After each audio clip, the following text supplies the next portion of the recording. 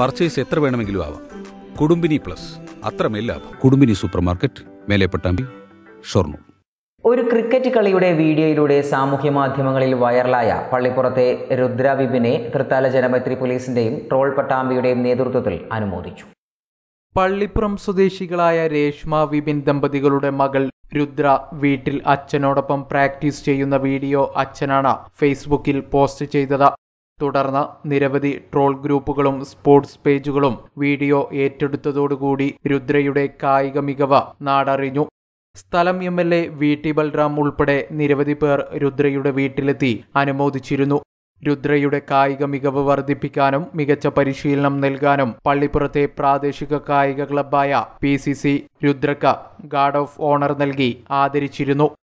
നാട്ടുംപുറത്തെ മികച്ച ബാറ്റ്സ്മാനായിരുന്ന അച്ഛന്റെ കളി താൽപ്പര്യമാണ് രുദ്രയിൽ ചെറിയ പ്രായത്തിൽ തന്നെ ക്രിക്കറ്റിനോടുള്ള മോഹം ഉദിക്കുന്നത്.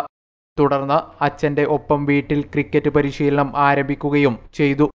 സ്മൃതി മന്ദാനയും യുവരാജ് സിംഗുമാണ് ഇഷ്ടതാരങ്ങൾ എല്ലാവർക്കും നമസ്കാരം.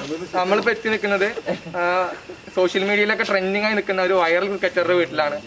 രുദ്ര എന്ന് പറയുന്ന നാലാം ക്ലാസ്സിൽ പഠിക്കുന്ന തൃത്താല തൃത്താലയിലുള്ള ഒരു കൊച്ചു മെഡിക്കറുടെ വീട്ടിലാണ്.